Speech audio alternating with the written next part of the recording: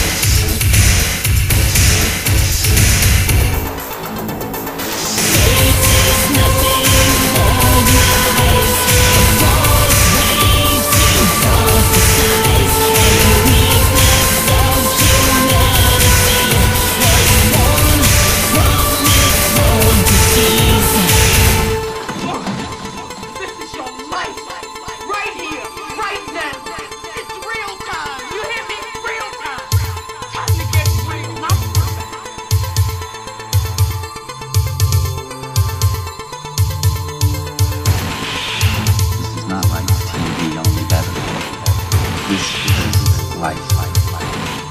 It's a piece of something from life. It's pure and uncut, straight from the cerebral.